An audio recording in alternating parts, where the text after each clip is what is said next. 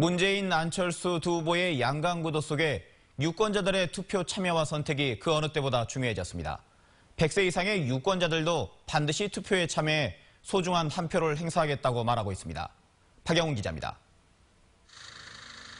한적한 농촌 마을에 자리한 주택. 아들과 함께 마당을 둘러보는 조동금 씨의 가족관계 등록부상 나이는 119살.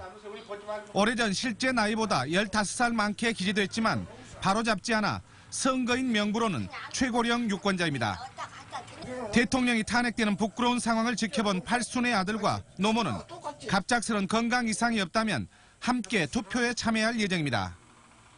나라를 완전히 우리가 볼 때 다 나라 망쳐버렸지 지금 뭐 이, 이 나라가 이 나라입니까?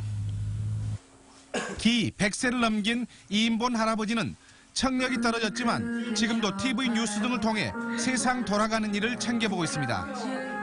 단 한 번도 빠지지 않았던 투표. 19번째 대통령 선거에도 유권자의 권리를 포기하지 않기로 했습니다.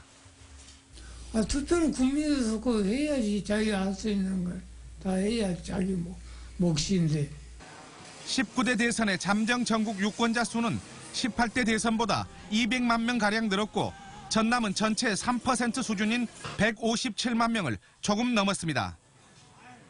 고령 비율이 늘고 40대 이하 유권자 비중은 낮아진 만큼 연령별로 실제 투표가 얼마나 이루어지냐에 따라 결과에 영향을 줄 것으로 보입니다.